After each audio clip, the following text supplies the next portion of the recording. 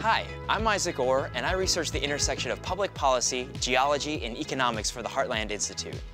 Horizontal hydraulic fracturing, commonly referred to as fracking, is a safe method of producing oil and natural gas that has gained a lot of media attention in recent years.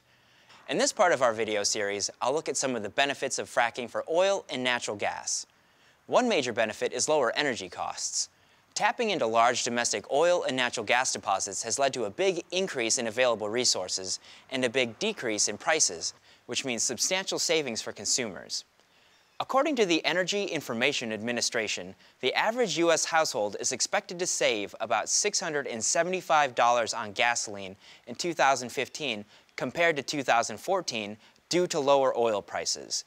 Another study by the Brookings Institution found low natural gas prices will save families up to $432 per person depending on where they live. For low-income families, that's a huge deal, and it's only possible because fracking has made the United States the world's largest producer of oil and natural gas. Imagine a single mother with two children living in Detroit.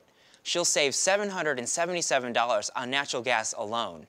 And when you add in her savings at the pump, she could potentially save nearly $1,500. In Mississippi, the U.S. state with the highest poverty rate, a family of four would save more than $1,600, and that's all because of fracking. Fracking is also one of the fastest growing sectors of the economy and one of the biggest creators of new jobs. According to the Bureau of Labor Statistics, mining and oil and natural gas extracting jobs grew by nearly 25% between 2007 and 2014.